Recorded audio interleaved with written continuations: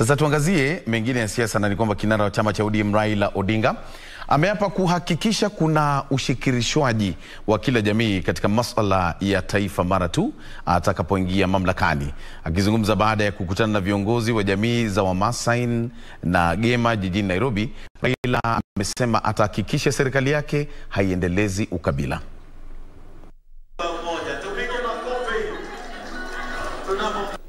So this is what we want.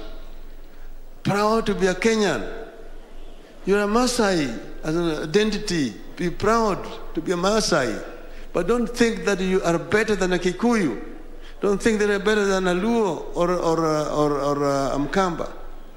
Let, let Mkamba not think that he's better than a Mijikenda. We are all Kenyans.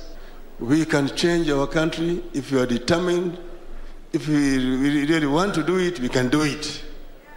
And we must just look at the causative factors and the solutions. And if we do that, Kenya will be able to reclaim its rightful place in the community of nations of the world. Uh,